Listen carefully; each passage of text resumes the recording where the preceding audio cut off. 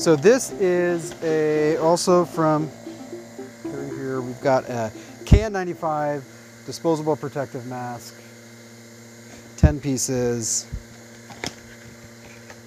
And this is the one that her church gives out. So let's get it in there. So this is not a KN95, number one. Because, well, I'll show you in a second. I'm to be a broken record. Even though this is live, I'm still going to be a broken record. That's what I do. Let's see if the KN95s that they're giving out to their church do well. So KN95, disposable mask. GB 2626-2006. They're adhering to the old standard. Why? That's super weird. Very soft though, I'll give them that much. Super soft. So it's not a KN95, why?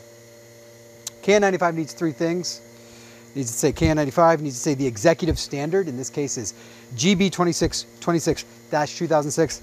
And then if it's the new standard, it needs to have the manufacturer name.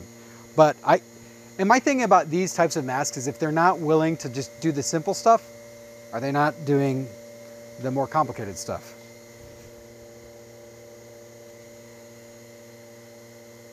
This mask smells like a relatively clean church but that could be because the box was open. We'll never know. It's a good mask. Ironically, the fake sketchy N95 mask was a better mask. This has great filtration efficiency, 99.59%. 99.59%. Um, but uh, only 173 Pascal, 173.9 pascals, which is passes the standard, but is just not very breathable.